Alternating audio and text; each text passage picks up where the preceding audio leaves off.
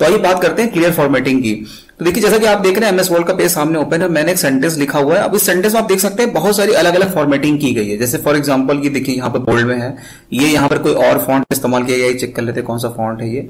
ये कुछ brush brush script MT font है। इसी तरीके से ये एक अलग फॉन्ट देख रहे हैं आप, और यहाँ पर अंडरलाइन किया गया इस तरीके से इसमें बहुत सारी फॉर्मेटिंग की गई है।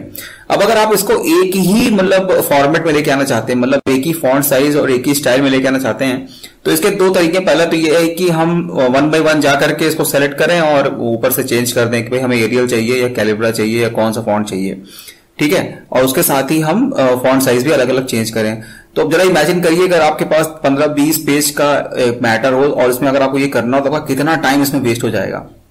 तो आपको इस सब कुछ करने की ज़रूरत है ही नहीं। बहुत सिंपल टेक्निक में बताता हूँ क्या करना सिंपल आपको सेलेक्ट कर लेना है, ठीक है? और यहाँ पर देखिए क्लियर फॉर्मेटिंग का ऑप्शन दिखाई देगा आपको।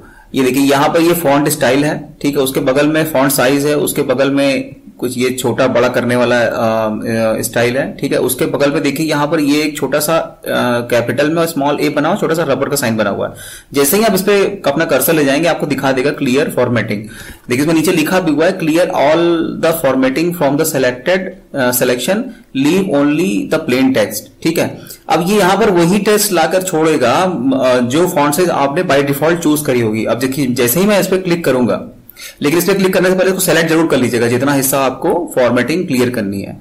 अब जैसे ही मैं इस पर क्लिक करूँगा, ये देखिए, सिर्फ़ हाइपर लिंक छोड़ के बाकी सब इसने नॉर्मल फॉर्मेटिंग मिला दिया। ये वो फॉर्मेटिंग है जो बाय डिफ़ॉल्ट मैंने सेट कर रखी है अपने एमएस वर्ल्ड में। देखिए एरियल और फॉन्ट साइज़ मैंने 18 सेलेक्ट कर रखा है। तो अब जितना भी मैटर था इससे यहाँ पे सामने, वो सारा आपका इस एरियल में और फॉन्ट साइज़ 18 में आ गया।